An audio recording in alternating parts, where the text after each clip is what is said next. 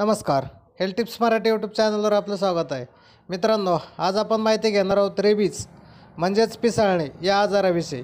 तर पहा मित्रांनो हा रेबीज हा आजार कुत्रा ससा माकड किंवा मांजर या प्राण्यांचा आजार आहे. आणि हे प्राणी जर आपल्याला संपर्कात आले किंवा चावले त्यांच्या ल लाळे थ्रू हा आजार आपल्या मानवामध्ये होऊ शकतो.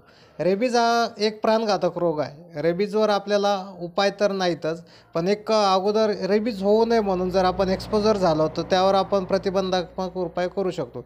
रेबीज हा प्राणघातक आजार आहे. एकदा रेबीज झाल्यानंतर झाल्याच्यानंतर आपल्याकडं कोणताही पर्याय नसतो.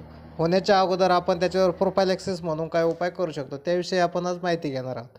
तर काय करायचं या पाण्या प्राण्याच्या जर पिसाळ्या प्राण्याच्या किंवा साधे जरी असेल तर या प्राण्याच्या जर आपण संपर्कात आलोत किंवा त्यांची लाळ जर आपल्या संपर्कात आली तर खालील प्रथम उपचार तुम्ही अवश्य करावे. त्यातली पहिला म्हणजे प्राणी चावल्यानंतर जर जखम झाली असेल तर ती जखम एकदा ताबडतोब साबण आणि पाण्याने किंवा नुसत्या स्वच्छ पाण्याने धुवून काढावी. त्याने त्याची लस जी असते ती थोडीशी बाहेर जाण्यास मदत होते. धुवून निघते. शक्य असल्यास त्यावर लगेच अँटीसेप्टिक मलम लावा किंवा त्वरित जवळच्या डॉक्टरचा सल्ला घ्यावा. रेबीज पी ई पी म्हणजे पोस्ट एक्सपोजर प्रोपायलेक्सिस ही एक प्रभावी लस आता सध्या उपलब्ध झालेली आहे. या लसीचं तुम्ही तत्काळ घ्यायला हवी आहे कारण की ती लसच फक्त आपल्याला त्यापासून वाचवू शकते. त्याच्यानंतरचा उपाय म्हणजे पेशंट जर मानवी रेबीज इम्युनोग्लोबिलिनचा एक डोस आणि रेबीज लसीचे चार डोस हे जे चौदा दिवसात असतात हे डोस घेतलेच पाहिजेत. आणि जर ऑलरेडीच जर तो प्राणी जर पिसाळलेला असेल रेबीजग्रस्त असेल तर ते आपण काही वेळेस त्याचे चार सोडून सातही डो डोस घेऊ शकतात. आणि इम्युनोग्लोबिलिनचा एक डोस हा घेणं खूप गरजेचं आहे. पहिला डोस हा जखम झाल्याबरोबर जेवढ्या लवकर घेता येईल लवकरात लवकर घेणं उपयोगी ठरतं.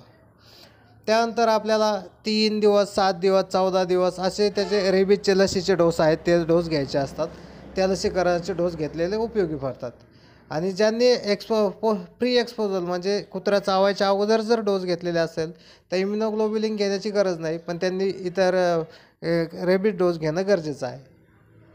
आणि जखम झाल्यानंतर लसीकरण जखम झाल्यावर दोन तीन दिवसात घ्यावे.